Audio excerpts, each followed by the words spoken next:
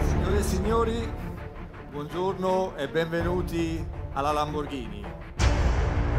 So it was four years ago when we first introduced the Aventador here in Geneva.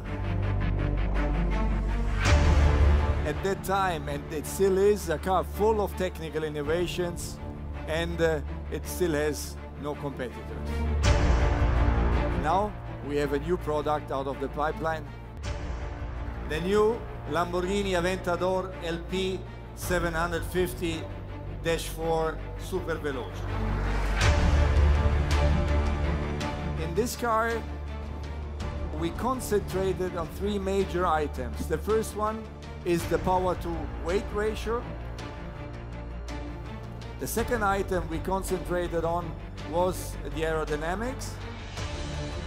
And the third item is uh, the drivability of the car, which is something which we added, which is new for a raw and very fast car like the Super Veloce.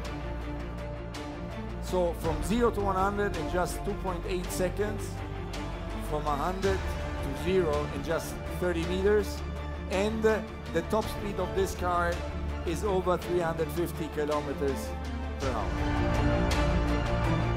One thing remained unchanged, and this is the fact that the Aventador still has no competitors.